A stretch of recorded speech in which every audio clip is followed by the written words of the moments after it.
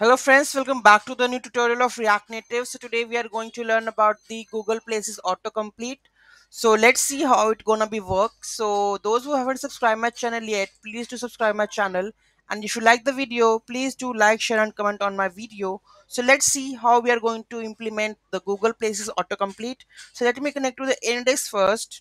Let me open the AnyDesk and here we go with my AnyDesk. This is the index I guess, 99. Okay, connect, accept, start now, and here we go with my code. Okay, you can see that Mohali. We can make it Chandigarh.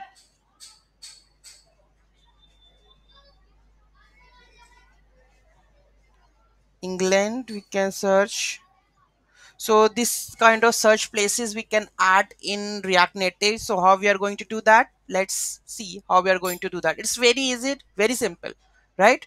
So i'm going to uh, show you how about which package i'm going to use it. So basically it is react native this one. React native google places autocomplete. So i have just followed the full steps like this one okay powered by google and uh, here you can see that I have just installed the package React Native Google Places Autocomplete. After that, I have just used this Google Places Autocomplete placeholder search on press whatever I'm going to press the data. uh, It will show me all the details over here. Let's check the console.log if it is it is there. So I'm going to use Netherlands, right?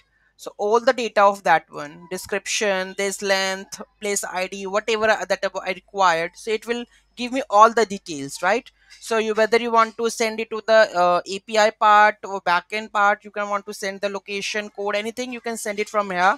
And this is how we can implement the google places autocomplete api google play uh, google places api in react native right? So this is the package we can use in our module. So any doubt any query in that just let me know in the comment section. I think it's very very easy.